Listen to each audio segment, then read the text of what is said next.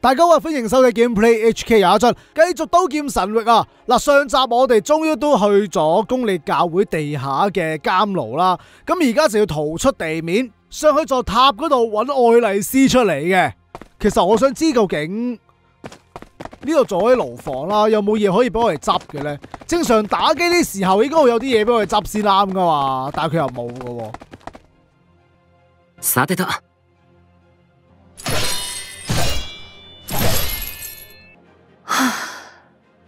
うーんキリトもしかして 楽しみだなるほどね任せろ吓邊原來可以咁樣用噶喂！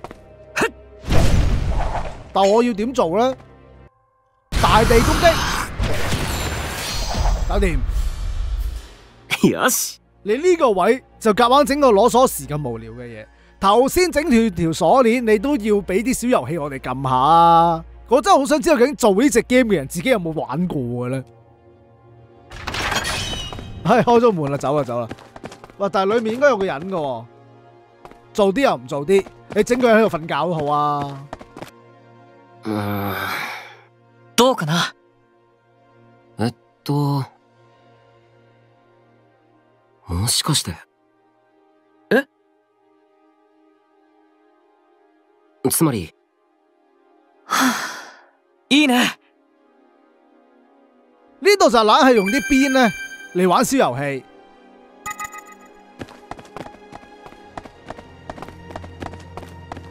睇下先，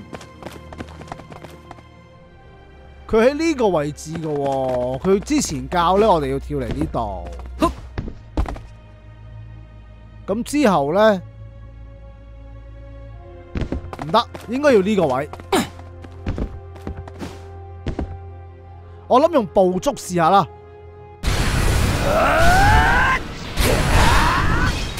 搞掂，よし。うん。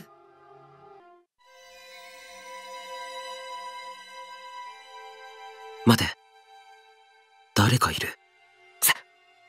聖号騎士。新進嘅呢個。そんなところに立っていないで。入ってきたまえ囚人君たち。さすがに我が師アリス様は軽眼であることよ囚人の脱走という万に一つの事態を見事に予期なさるのだから。あアリス様？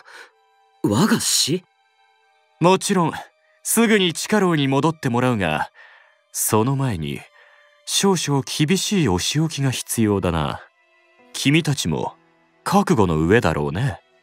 ならもちろんあんたも俺たちが無抵抗にお仕置きを受けるとは思ってないよな 威勢がいいね。まだ学院を卒業もしていないひよこだと聞いていたけど大したものだ。その空元気に敬意を表して君たちの天命を残り一滴まで減らす前に名乗っておこう。私は聖号騎士エルドリエ・シンセシス31ほんの一月前に天界より召喚されたばかりで未だ統括地もない若輩だがそこはお許し願おうかな。戦うぞ。俺が先に相手するから遊女は合図を待ってくれ。うん。でもキリト僕。もう迷ってる場合じゃないんだ。あいつに勝てなきゃとてもカセドラルは登れないぞ。いや迷ってるわけじゃなくて僕あいつの名前。うん。後にしよう。了解だけど無理はするなよ。キリトなるほど。剣もなしにどうするのかと思っていたがその鎖を武器にするつもりか。これなら少しは戦いがましい戦いを期待できそうかな。ならば私も剣ではなくこちらを使うとしよう。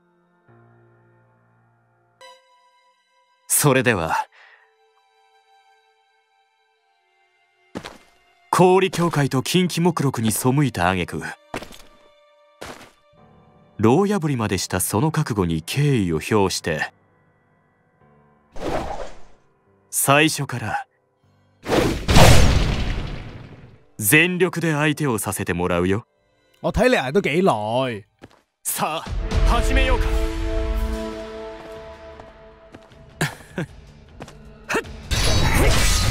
哎呀，彈開先，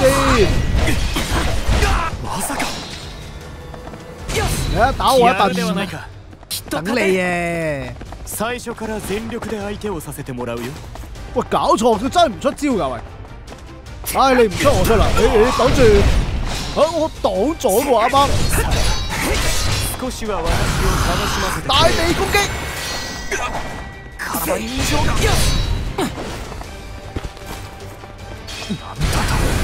將你捕捉，咦捕捉 O K 喎，相手をさせてもらうよ余裕だ捕捉佢下先，哎呀冇事，我走，耶終結技，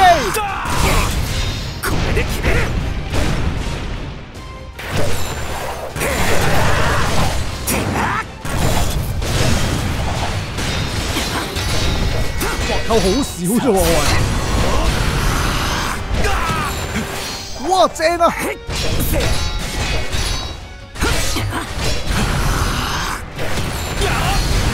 再接，咦又交真唔幫手㗎？哦，走開走開走開！まさか你出現啦，抹到我啦！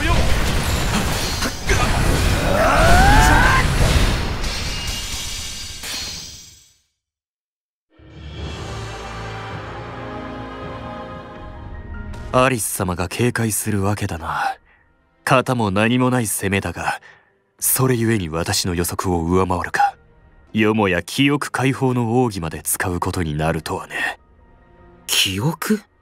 あなたこそ。やっぱりさすがだ。聖護騎士殿。こ、この状況で感心している場合かやっぱりってどういう意味だ？僕、最初からどこかで聞いた名前だと思ってたんだ。この人はね、キリト。今年のノーランガルス北帝国第一代表剣士。そして、四帝国統一大会の優勝者、エルドリエ・ウールス・ブルーグだよ。私が北帝国代表剣士エルドリエ・ウールスブルーグその通りです。学院の掲示板に確かに書いてありました。紫の髪の美丈夫で、流霊極まる剣術で、全ての試合を一本勝ちしたって。違う私は私は聖号騎士エルドリエ・シンセシス31だ知らぬウールスブルーグなどという名はあんただって、生まれた時から聖号騎士だったわけじゃないだろ。騎士に任命される前は、そういう名前だったんじゃないのか？知らん。私は私は知らん。私は最高司祭アドミニストレータ様の招きを受け聖号騎士として天界よりこの地に召喚されああエルドリアについて、他に知っていることはないか。何でもいいから、こいつの記憶をもっと呼び覚ますんだ。えっと、エルドリエあなたは帝国騎士団将軍、エシドル・ウールス・ブルーグの息子だ。母親の名前は、確か、アルメラ、そうアルメラだ。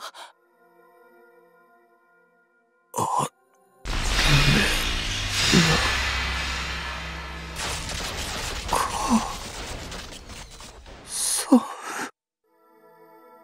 そうだ。思い出せ。全部。罪人よ。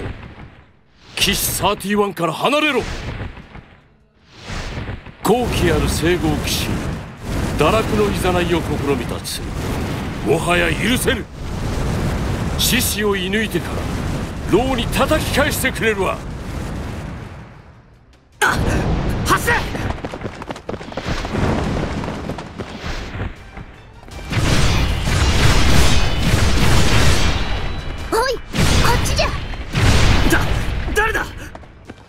んなところに扉？キリト。他に逃げ道はない。行くぞ勇者。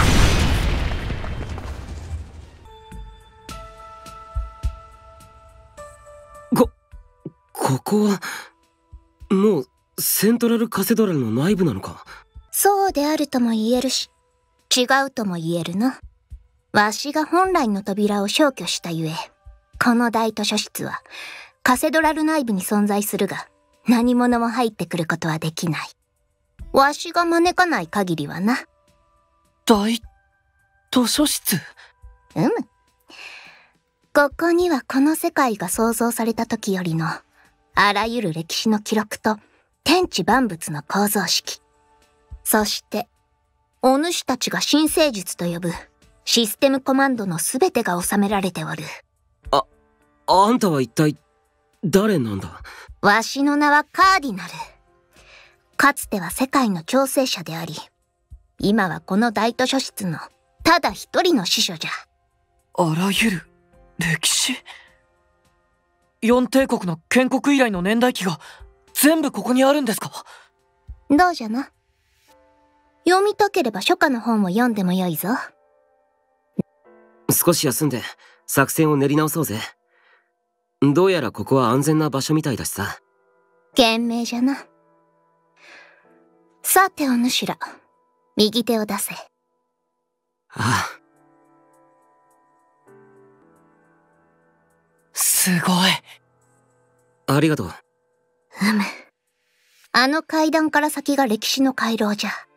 ありがとうございますそれでは少し失礼しますここにある創世記は、氷協会の最高司祭が口述して、筆記官に書き取らせた創作物ではあるがな。残念ながら。嗱，呢啲咁樣所謂歷史啦，其實現實世界都係嘅，只會寫一啲對自己有利嘅嘢嘅啫，又或者作啲嘢落去啦，對自己冇好處嘅嘢咧，永遠都唔會寫落去啊。じゃあやっぱりこの世界に神様は実在しないのか？ステイシアもソルスもテラリアもベクタも呢啲神咧真係有佢哋個 account 喺度㗎。オーラン。アンダーワールドの民が信じている神話は、教会が支配権を確立するために作り広めたものに過ぎん。神たちの名は、緊急措置用の最高権限アカウントとして登録はされているが、外の人間がそれでログインしたことは一度もないよ。あんたはアンダーワールドの住人じゃないんだなこの世界の外側システムの管理者たちに近しい存在だ佢都嗌自己做卡迪奴你仲未知道佢係邊個？うむ。そして、それはお主もじゃな。無登録民キリトよ。ああそうだアンダーワールドを作った者たちの名はラース RATH そうだないかにも。そしてあんたはカーディナルシステム仮想世界を制御するための自立型プログラムだ。ほう？それを知っているか？あちら側で、わしの同類と接触したことがあるのか？まあな。でも俺の知る限りカーディナルシステムにそんな擬人化インターフェースは組み込まれてはいなかった。一体あんたはどういう存在なんだ？この場所で何をしているんだ？それでは、この世界について、お主に話すことにしよう。随分と長い話にはなるがな。このアンダーワールドは、ある目的を持って外部の者によって作られた箱庭。人工世界じゃ。原初。わしがまだ意識を持たぬ管理者だった頃、現実世界から4人の人間がこの土地に降り立ち、人工フラクトライトの子供を育てたのじゃ。その際に、後の近畿目録の礎となった。原初の4人つまりこの世界を作ったラースの研究員たちかうむ。じゃがおそらく、その原初の4人の中に、知性に秀でていても、善ならざる者が一人だけ存在したのだ。そやつがいわば汚染したのさ。その結果、子に所有欲や支配欲といった利己的な欲望を伝えてしまった。その子供が祖先となったのだ。今の人海を支配する。貴族や皇族、そして氷協会の上級司祭たちのな。この世界を支配しているのは最高司祭、アドミニストレータ。彼女が近畿目録を作成し、民を支配している。かの女が、現在のこの永遠に停滞した世界の支配者と言えよう。また、外部との連絡手段を持つものである。順に話そう。氷協会という絶対統治機関が作られたのは、およそ350年前のことじゃ。原初の4人のログアウトから数十年後、住人たちはすでに数人の領主に支配されていた。ある時反目していた領主家の間で政略結婚のようなことが初めて行われ、一人の女の赤子が生まれたのじゃ。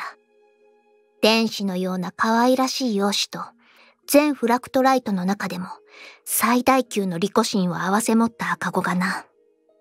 なお、クイネラという。後にアドミニストレータと名乗るクイネラという少女は、新生術の修練という天職を与えられ、新生術、つまりシステムコマンドの解析を始めた。クイネラはわずか11歳の時に、無害な金飛び狐に攻撃術を試し撃ちし、権限上昇の仕組みを発見したのじゃ。やがてクイネラは、夜ごと家を抜け出し、家族や村人に隠れて殺戮を続けたのじゃ。クイネラの権限レベルは際限なく上昇を続けた。同時にコマンドの解析も着実に進み、彼女は天命回復や天候予測といった当時の民にとっては奇跡にも等しい数々の術を操れるようになった。そして神の申し子と信じられ、セントリア民たちに崇め立て祀られたクイネラは、神のために祈る場所が必要だと告げ、すぐに村の中央に白大理石の塔が建てられた。それこそが、このセントラルカセドラルの原型よ。そして同時に、氷協会350年の歴史の短所じゃ。近畿目録を生み出したのは、この世界を支配する氷協会の最高司祭、アドミニストレータじゃよ。それでも、あの女が近畿目録を生み出した理由は、決して道徳心のためなどではない。クイネラの支配体制は盤石となりつつあり、人口は増加し、人々の居住地域も拡大していった。じゃが、己の目が届かぬ部分が出てくると、クイネラは不安になったのじゃな。辺境の地で、自分と同じように、新生術行使権限の秘密に気づく者が現れるのではないかと。そこで彼女は、あらゆる人間を確実に支配するために、明文化された法を作ることにしたのじゃ。第一項には、氷協会への忠誠を書き、第二項に殺人行為の禁止を記した。なぜか。為咗方便控制，同埋殺人都係會升 level 啊嘛，唔想佢哋升 level。無論、人間を殺せば、殺した者の権限レベルが上昇してしまうからじゃ。近畿目録を配布し、氷協会の支配を絶対的なものにしたクイネラだったが、求めたのはさらなる権限、さらなる秘跡。己に与えられた最後にして絶対の限界。天命すらも超越するほどのな。そしてついに、クイネラは手に入れたのじゃ。この世界に存在するシステムコマンドの一覧をな。延滞やコマンドリストの呼び出しに成功したクイネラは、まず自分の権限を最上位にまで引き上げた。カーディナルシステムのみが持つ権限のすべてを、己に付与していったのじゃ。地形や建築物の操作、アイテムの生成、そして、天命の操作までもな。天命の操作？それはつまり、寿命の限界を？突破できるということよ。クイネラは天命値を全回復させ、天命の自然現象を停止させ、さらに容姿の回復を行った。アドミニストレータはなぜ氷協会を作り、人海の支配を目論んだんだ？もともとは、彼女の持つ世界で最も利己的な意志と、再現のない支配欲に駆られているだけだった。じゃがその欲望ゆえに、奴は自分と同等の権限を持つ存在すらも許せなかったのじゃ。それは、カーディナルシステムそのもののことか？しかり。じゃが、いかに新生術には長けようと、所詮クイネラは科学文明とは縁なきアンダーワールド人じゃ。クイネラはカーディナルシステムそのものを己に取り込もうとし、その結果、カーディナルシステムの基本命令を、己のフラクトライトに書き換え不可能な行動原理として焼き付けてしまった。権限レベルだけを奪うつもりが、カーディナルと自らの魂を融合させてしまったのじゃ。カーディナルの基本命令ってのは、具体的には何なんだ？秩序の維持じゃ。その命令を魂に書き込まれたクイネラは混沌し、一昼夜眠り続けてから覚醒した。その時にはもう、彼女はあらゆる意味で人間ではなくなっておった。老いもせず、水も飲まず、パンも食わず。欲するのは、己が支配する人海を今のまま永遠に保つことのみ。クイネラがアドミニストレータとなってから70年後、彼女は己に何らかの異変が起きたことを自覚した。睡眠時以外でも短時間意識が途絶したり、數日前の記憶が再生できなかったり。因為搖光咧，始終有一個容量嘅上限嘅。你想象一個 hard disk，佢最後滿咗嘅話會點啊？擺唔到嘢落去咯。呢、個就係個副作用啦。何より完璧に暗記しておるはずのシステムコマンドを即座に思い出せなくなるという、感化できぬ現象じゃった。彼女は管理者コマンドを駆使して、己のフラクトライトを詳細に検査し、その結果に戦慄した。なんと、記憶を保持するための領域の容量が、いつの間にか限界に達しておったのじゃ。当時、つまり、今より200年前のことじゃ。氷協会のシスター見習いとして、セントラルカセドラルの仮想で新生術を学ぶ、年の頃10ばかりの女子がおった。アドミニストレータは、その女子をカセドラル最上階の居室に連れてこさせると、慈愛に満ちた聖母の微笑みで迎えた。奴は言った。あなたはこれから私の子供となるのですよ。アドミニストレータは、その女子のフラクトライトに、オノガフラクトライトの思考領域と重要な記憶を上書き複写しようと考えたのじゃ。じゃが、失敗した。失敗？そうとも。なぜなら女子に乗り移り、それまでの自分を処分するその一瞬だけ、同等の権限を持つ神が二人存在してしまうことになるからじゃ。教えてくれ、カーディナル。あんたは一体何者なんだ？佢咪就係嗰個十歲嘅靚妹咯。まだわからぬか。クイネラが、己の魂に刻み込んでしまった基本行動原理は、メインプロセスに与えられた命令。世界を維持せよ。そして、サブプロセスに与えられた命令。メインプロセスの過ちを正せ。サブプロセス？過ちを正す？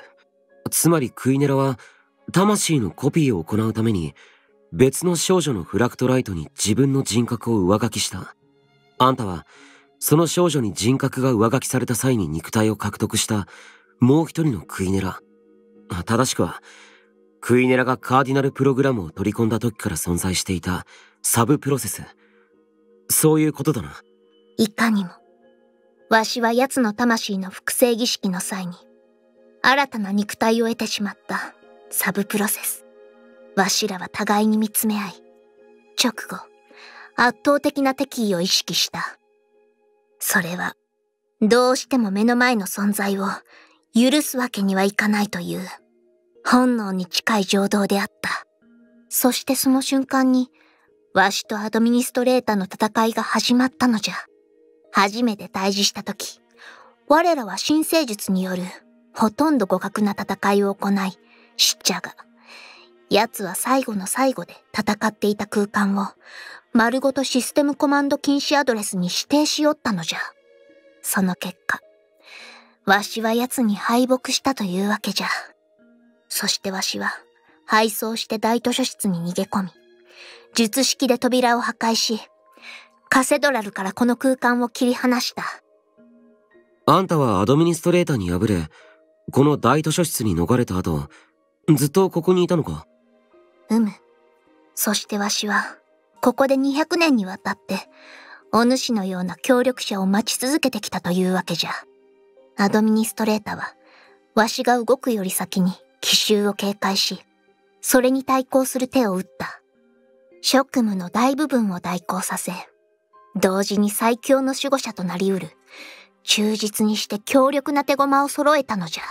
亦即係整合騎士啊。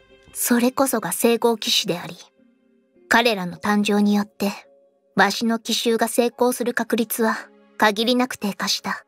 それにわしは一人。対して奴は、聖号騎士を有する巨大組織のトップじゃ。だから協力者を求めたのか。うむ。とはいえ協力者は、近畿目録を破ることができ、さらには戦闘能力及び高度な新生術を扱える必要がある。わしは条件に合致した人物を見つけるために、鳥や虫を使い魔として全世界に放った。同人個頭頂都有一隻㗎。そんな中、わしの耳にアドミニストレータが配置した破壊不能オブジェクトが破壊されたという情報が入ってな。わしはオブジェクトを破壊した若造二人を見つけ、使い魔の一人にその動向を探らせることにしたのじゃ。名前はシャーロットじゃ。ルーリットの村を出たその時から、お主とユージオの言動を見聞きしておった。嗱，就係呢只蜘蛛啦。同人佢哋頭先喺花園嗰度點解揾到路去逃走，同埋見到隻門咧，都係多得隻蜘蛛拉下同人頭頂啲頭髮嘅啫，好似個操縱杆咁用嘅係。あじゃあ、たまに髪の毛をツンツン引っ張られるような感覚があったのは、もしかして、わしはまず、お主と相棒が、人の手ではほぼ破壊不能なオブジェクト、ギガスシダーを破壊したがゆえに、その理由を探らせた。そして、お主らがたった二人で、ダークテリトリーからの先見偵察部隊を撃退したと分かったのじゃ。さらにシャーロットを通して観察を続けるうちに、お主が近畿目録に縛られておらぬことを知った。また、お主が外部から来た人間であることもな。わしはそれゆえ、お主を最大の希望として見出したのだ。そうだったのか。あれは、俺に宿った霊感でも直感力でも何でもなかったってわけだ。もしかしてあの時も、育ててたゼフィリアのつぼみを切られた時、俺を励ましてくれたのも君なのか？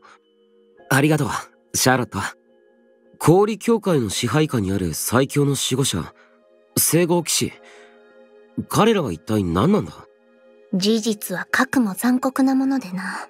アドミニストレータが、近畿目録違反による反逆を恐れるがゆえに作り出した手駒に過ぎんのじゃよ。アドミニストレータは、シンセサイズの秘儀なる儀式により、元の記憶を奪い、その代わりに中性意識を植え付ける。そうして生み出されたのが、聖号騎士なのじゃ。その、シンセサイズの秘技ってのは一体何なんだ？奴が違反指数の高い人間を山ほど研究材料に使い、生み出した術式じゃ。対象の記憶の一部を奪い、代わりに己への忠誠を強いる。パイエティモジュールを頭部に埋め込む。わしがお主を協力者に選び、アドミニストレータを倒さんとする理由は、失った権限を取り戻すためだけではない。ましてや、近畿目録という鎖に縛られる民を解放するためでもないのだ。どういうことだ？いずれ外部の人間が、この世界に與える運命、最終負荷実験。嗱，呢個就係重點啦。當個實驗開始嘅時候，暗黑大陸就會打到過嚟㗎啦。その日が来るまでに、わしがすべての魂を、静かに、痛みも苦しみもなく、眠らせるためじゃ。最終負荷実験ってのは一体何なんだ？うむ。まず前提として、この世界を作ったラースは、人工フラクトライトたちの幸福な営みなど望んではおらぬのだ。むしろその逆。民たちを巨大な万力でゆっくりゆっくりと締め上げて、どのように抗うのか観察するためにのみ、この世界は存在する。一体、何が起こるんだ？人海という卵を挟み込む万力が、ついに殻を割るのじゃ。闇の世界の住人たちは、人間と同じフラクトライトに、殺戮と強奪の行動原理を付与された存在じゃ。彼らは単純に、力の優劣をヒエラルキーとする体制によって組織化され、原始的じゃが、強力な軍隊を作り上げておる。その集団が、彼らの言葉で、イウムと呼ぶ人海人の領土に攻め入り、暴虐の限りを尽くす日を今か今かと待っておる。これがアンダーワールドという世界の歴史と、待ち受ける苦難のすべてじゃ。其實我完全估唔到咧，佢會將呢一部分咁樣去表達出嚟啊！完全係聽佢講古仔嘅啫。なるほどな。それじゃあ、最高司祭であるアドミンストレーターを倒して、あんたがカーディナルシステムの全権を取り戻したとしても、最終負荷実験による闇の軍勢の進行は止められないんだな。うむ。それにもし、仮にわしが全権限を回復し、一撃で闇の怪物を焼き尽くすコマンドを編み出せたとしても、わしはそれを使わぬよ。なぜなら、彼らとて望んで怪物となったわけではないのじゃ。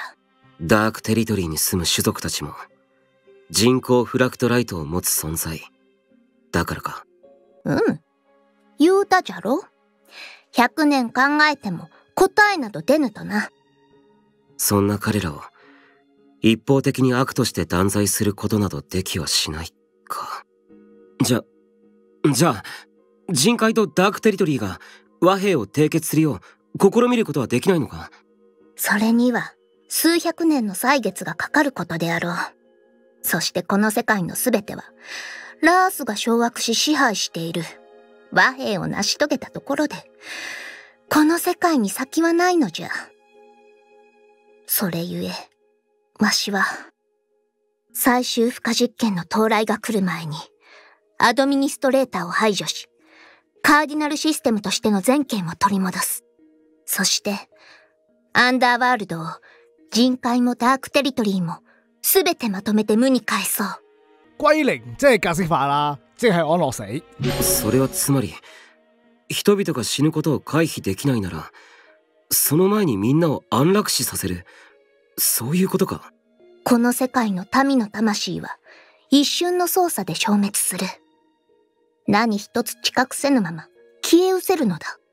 それが殺人行為であることに何ら変わりはないかな。この世界がラースに依存している以上、独立は望めぬからな。ラースにとってアンダーワールドはただの実験対象じゃ。最終負荷実験を避けることなどできぬ。そうだな。現状ではどう考えても不可能だ。これで、わしが単にこの世界の人々を救うために、お主に協力を要請したわけではないと分かったであろう。なあ、よくわかったよ。あんたがどんな思いで200年間この世界を見つめ続け、その結論に至ったかもな。そうか。嗱，其實問題咧，我哋都唔使點諗，因為我哋暫時嚟講咧係冇辦法可以救嗰啲人嘅。事情はわかったよ。どうじゃ、キリトよ。わしは強制できん。もしお主がわしと協力できぬとしても、望みの位置のバックドアから、お主とユージを送り出してやろう。その場合は、お主らが万難を排してアドミニストレーターを倒し、それぞれの目的を果たした後は、このわしと戦うことになるじゃろうが。それもまた、運命というほかあるまいな。カーディナル。あんたは自分の魂はクイネラのコピーだと、そう言ったよな。うむ。いかにもその通りじゃ。なら、あんたにも純粋なる貴族の血が流れているはずだ。己の利益と欲望のみを追求する遺伝子が、なぜあんたは全てを投げ出し、逃げなかったんだ。なぜこんな場所で一人、200年も待ち続けたんだよ。愚かなやつじゃ、つくづく。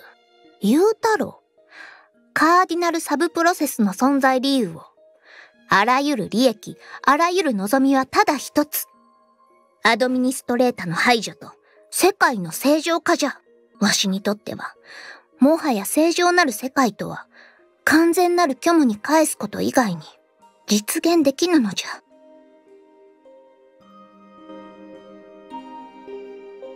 故に、故にわしは、違うかな。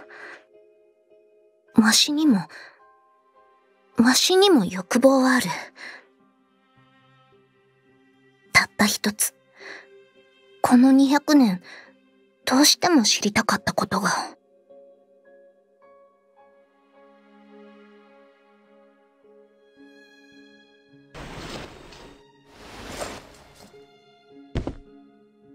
おい、キリト。お主も立て。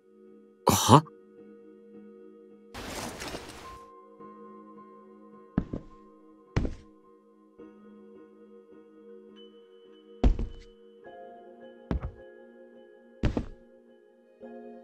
佢想感受人嘅温暖啊，其實係。そうか。これが、これが人間であるということか。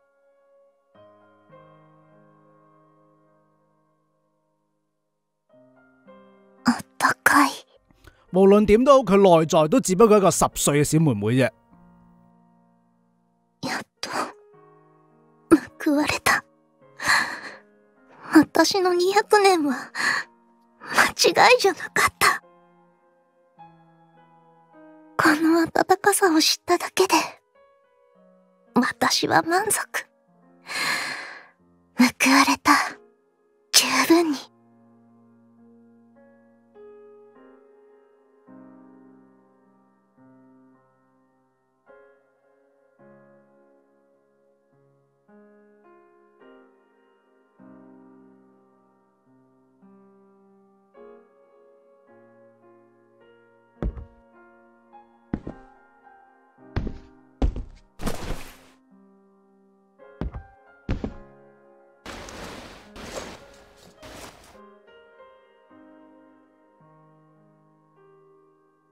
いつまでぼーっと突っ立っておるつもりじゃ？そりゃないよ。それで、結論は出たか？わしの提案に乗るか、それとも蹴るか？わかった。あんたの作戦に乗るよ。でも、でも俺は考えることはやめない。この先、聖号騎士たちやアドミニストレータとの戦いが始まっても、何か手段がないか探し続ける。不可実験段階の悲劇をどうにか回避して、世界が平和に存続できるような解決策を。やれやれ。とんでもない楽天家じゃな。わかっておったことじゃが。だってさ、俺はあんたにも消えてほしくないんだ。10人選べと言われたら、そこにはあんたも入れるよ。間違いなく。その上愚かなやつじゃ。わしが脱出してしまったら、誰がこの世界を消去するというのだ？だから、状況は理解したけど、悪あがきは放棄しないって言ってるだけだよ。お主にも、いつかは諦めることの苦さを知る時が来る。力尽くして及ばぬことではなく、及ばぬであろうという推測を受け入れなくてはならぬ時が。さ、相棒もそろそろ歴史書を読み終わるじゃろうし、今後の具体的な行動計画は、有事を交えて話そう。そのためにも、まずは現実世界の知識などを除いた最低限の情報をあやつに教えてやらねばな。俺は戻ってきたユージオに、事情とこれからのことを説明した。聖号騎士たちは、シンセサイズの秘技で記憶を抜かれて、氷協会に忠誠を誓わされた存在であり、追放されたもう一人の最高司祭カーディナルは、聖号騎士たちとの戦いに協力してくれるということ。そしてカーディナルの目的は、アドミニストレーターを倒し、最高司祭に復帰することなのだと、それだけを伝えた。外の世界や、負荷実験の後に待つアンダーワールド人の結末に関して話すことは、俺にはとてもできなかった。それでも、いつかは切り出さなくてはならないだろう。だが、今はそれを考えている暇はない。記憶を抜かれ氷協会へ絶対の忠誠を誓わされた存在所以愛麗絲咪就係咁樣咯それ。が聖号騎士カーディナルさんそれではあのアリスはやはりアリス・ツーベルクと同一人物なのですか？すまんが、わしがこの場所で手に入れられる情報は、ごく限られておるのじゃ。アリスという聖号騎士の出自については、今となっては知るすべもない。そうですかだが、聖号騎士を誕生。いや、作り出すためのシンセサイズの秘技を解除する方法は教えられる。本当ですかああ。パイエティモジュールを除去すればよい。パイエモジュエルドリエの額から出ていた、あの紫色の三角水晶柱だよ。あああれのこと？つまり、シンセサイズの秘技を解くには、聖号騎士の過去の記憶を揺さぶってやればいいってことか。いや、それだけでは不十分じゃ。もう一つ、絶対に必要なものがある。それは何です？モジュールが挿入されておる場所に本来存在したもの。つまり、聖号騎士にとって一番大切な記憶のかけらじゃよ。好可惜呢樣嘢就收埋咗喺最頂層。大抵は最も愛する者の思い出がそれにあたる。エルドリエが強く反応した言葉を覚えているか？はい彼の母親の名前でしたそれを聞いたら水晶がもう少しで抜け落ちそうになったんですならばそれじゃろうな。エルドリエは母親に関する記憶を抜き取られ、そこにモジュールを埋め込まれておるのじゃ。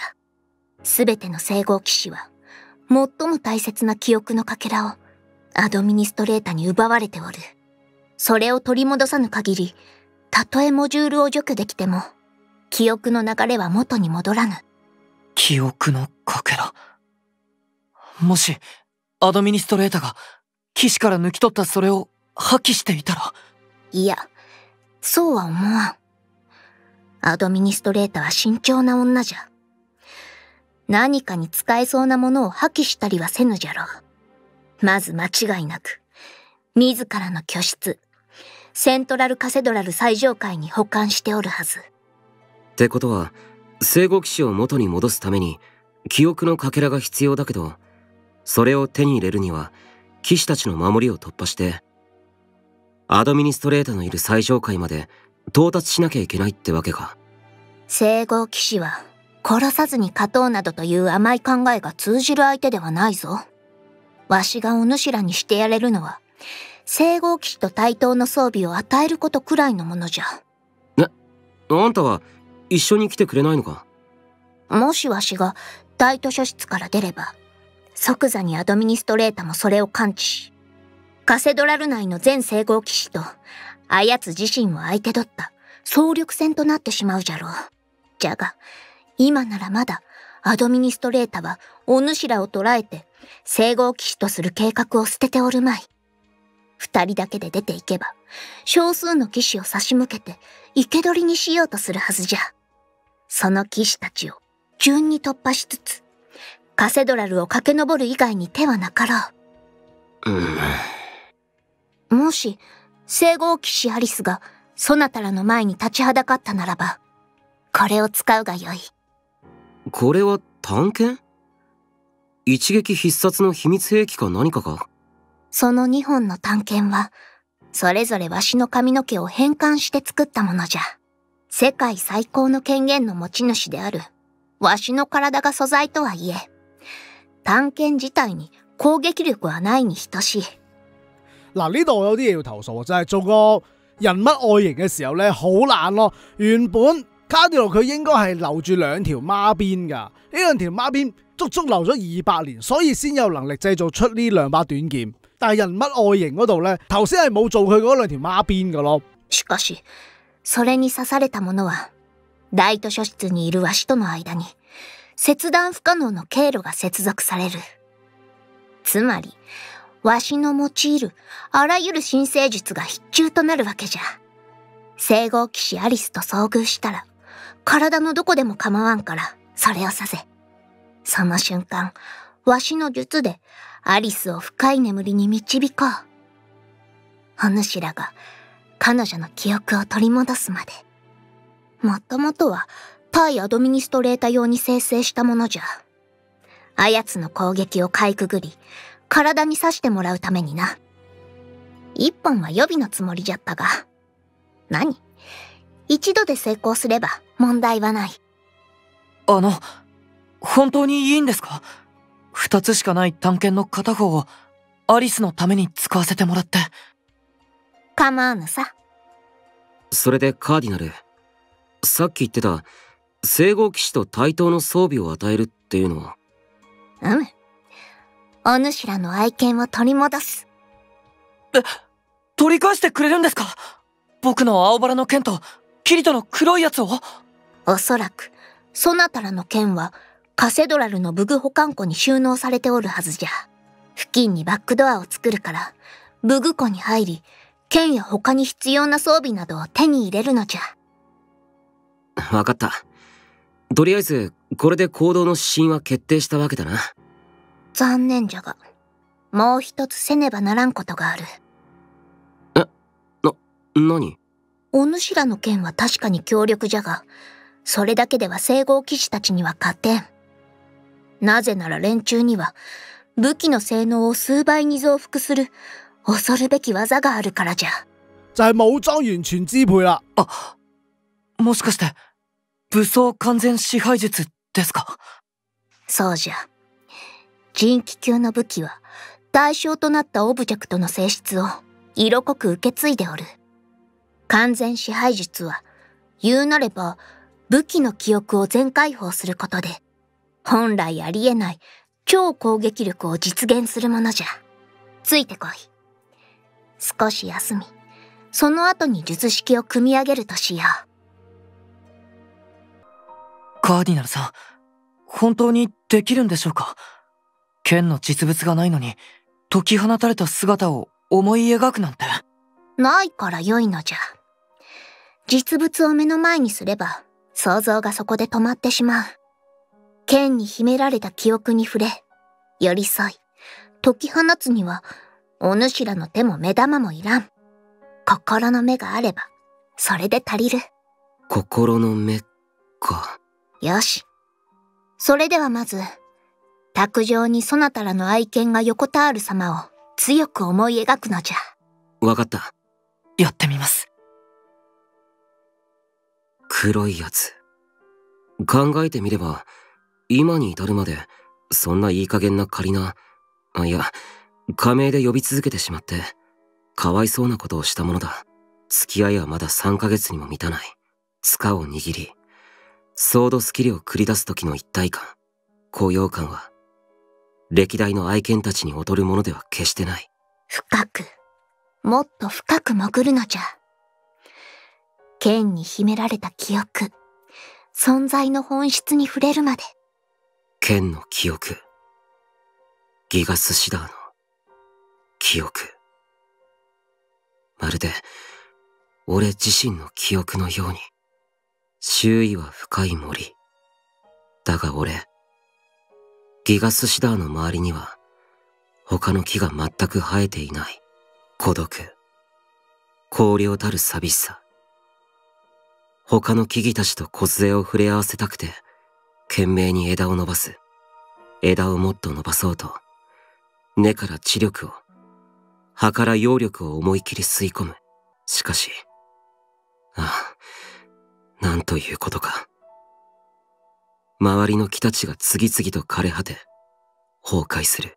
俺が枝を伸ばそうと知力と葉力を吸い込むせいで近くの木たちが枯れてしまうのだ。いつの間にか俺は森の木々たちの何十倍も大きくなり空き地も最初の何十倍も広くなってしまったそして孤独の深さもまた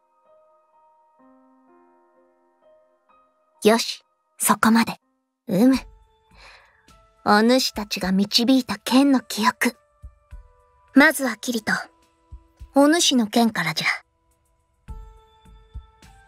この紙に書かれているのが武装完全支配術の術式。んあれ？この術式結びの句がエンハンスアーマメントになってるよな。なんじゃ？不満か？いやそうじゃなくてさ。確かエルドリエと戦った時あいつが使った完全支配術は違ったような。あとリリリリリースリコレクションだったかな？彼がそう唱えたら無知が本物の蛇になったんだあそうそうカーディナル俺たちの完全支配術にはいらないのか？それよいか。武装完全支配術には二つの段階がある。強化とは武器の記憶を部分的に呼び覚まし、新たな攻撃力を発現させること。そして解放とは言葉通り、武器の記憶をすべて目覚めさせ、荒ぶる力を解き放つことじゃ。エルドリエの総輪弁の場合は強化すると無知の射程を伸ばしたり分裂させたりできて解放すると無知が蛇に変身して自動的に敵を攻撃するわけかそういうことじゃ。しかし、先に言っておくが、お主たちではまだまだ解放術は使えぬぞ。なんでですか？記憶解放によって生み出される攻撃力は、とても術式を覚えたばかりの剣士に制御できるものではない。行為の人気ならばなおさら、敵のみならず自分をも巻き込み、下手をすると、命まで落としかねん。わかりましたさ、時間がないぞ。カセドラル3階の武器庫に通じる扉から、お主らを送り出す。ユージよ。そしてキリトよ。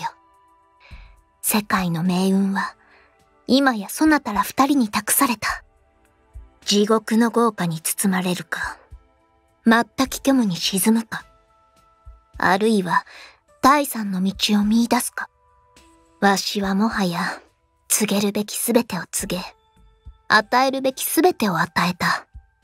ありがとうございますカーディナルさんきっとカセドラルの一番上までたどり着いてアリスを元に戻してみせます。では、行くのじゃ。誒，淨係攞到一把短劍，應該有兩把㗎。誰もいないね武具庫なんだから衛兵がいるだろうと思ったけどそもそも氷協会に盗みに入る人間なんかいないよなでも僕らの侵入はもうバレてるんだよね実際余裕なんだろつまり次に聖号騎士と出くわす時はよっぽどの大人数かよっぽどの強者だってことだ。せいぜいこの猶予時間を有効利用しようぜ。システムコール。ジェネレートルミナスエレメント。おおすごいね。さすが氷協会の武具庫なだけあるよ。ソルデリーナ先輩がここに来たら感極まってそっとするかもな。呢個全部都神器嚟㗎。教会はいずれ自前の軍隊でも作る気なのかな？聖号騎士だけで十分だろうに。うん闇の軍勢と戦うため？いや違うか。逆だな。軍隊を作るためじゃない作らせないために教会はここに武具を集めたんだ。多分ここにあるのは全部人機か。それに準ずる強力な装備だろう。アドミニストレーターは氷教会以外の集団が強い武器を手に入れて無用な戦力を持つことを警戒したんだ。え？どういう意味だい？それ。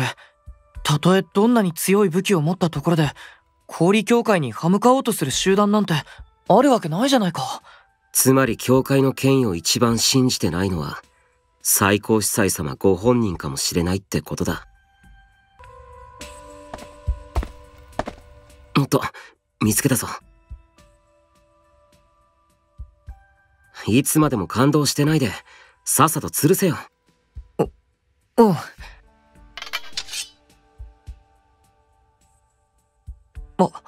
ここは防具置き場かな？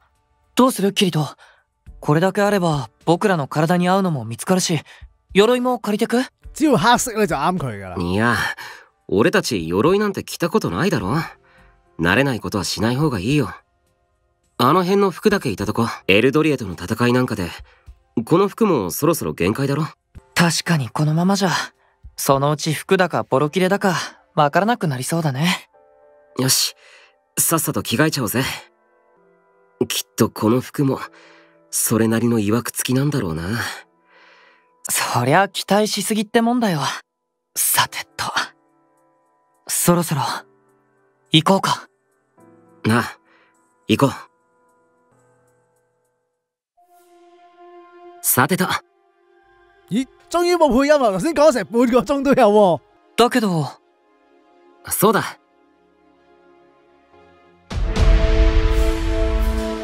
哇！呢身裝備靚仔好多。嗱，頭先嘅對話都講咗啦，我哋要睇一睇我哋自己嘅裝備同埋道具先，跟住先至再去上層嘅。今集暫時嚟到呢度先啦，下集就真係要打上去，有好多場仗等緊我哋嘅。咁我哋下集再繼續啦。追嘅朋友記住 like 同埋 share 俾朋友一齊睇，我哋下集再見，thank you，拜拜。